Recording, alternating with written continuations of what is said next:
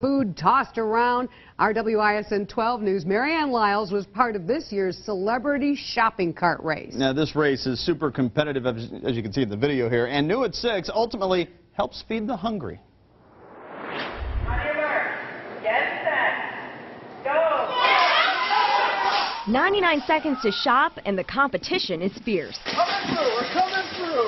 I teamed up with Kidd O'Shea from 99.1 The Mix, which teams up with Pick 'n Save and Klement's for the 16th annual shopping cart race to help Feeding America Eastern Wisconsin.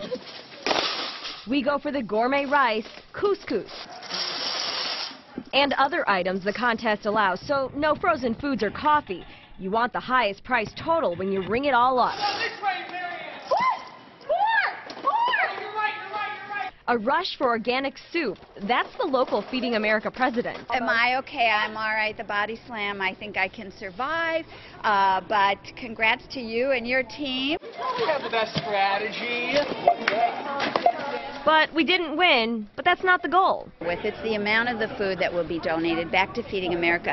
And if I'm correct in kind of in my mind, I'm adding up the totals. It looks like it's almost 3,500.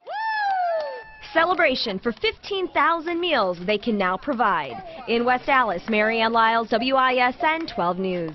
A lot of food, a lot of fun. Celebrity cart race also kicks off the Stuff the Bus food drive, and 99.1 The Mix will be back out at that Pick 'n Save collecting holiday food and turkeys the day before Thanksgiving.